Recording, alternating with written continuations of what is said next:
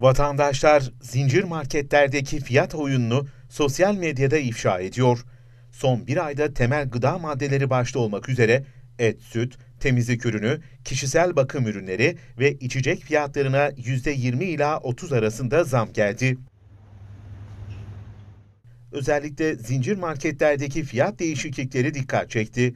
Zamlara gerekçe olarak işletme maliyet artışının yanı sıra döviz kurunu gerekçe gösteren marketler son bir ayda bu kalemleri etkileyecek kayda değer bir değişiklik olmamasına rağmen etiketlerini yukarı yönlü revize etmeye devam etti. Oysa geçen ay 18.60 lira seviyelerinde olan dolar kuru bugünlerde de aynı seviyede seyrediyor. Aynı şekilde değişmezlik akaryakıt fiyatlarında da görüldü. 17 Ekim tarihinde mazotun litresi 27 lirayken bugün 25 liraya geriledi. Benzinin litresi 17 Ekim'de 20.65 lirayken bugün 21 lirayla aynı seviyede kalmaya devam etti.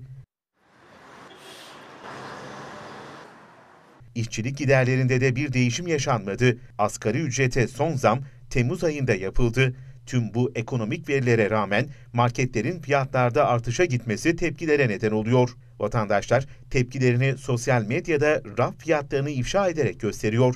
Bazı vatandaşlar zincir marketlerin raf oyununa caydırıcı cezalar verilmesini isterken perakende yasasının güncellenmesi talebi de sıkça dile getiriliyor. Vatandaşlar ayrıca alışverişte rafla kasa fiyatının mutlaka karşılaştırılması uyarısı yapıyor.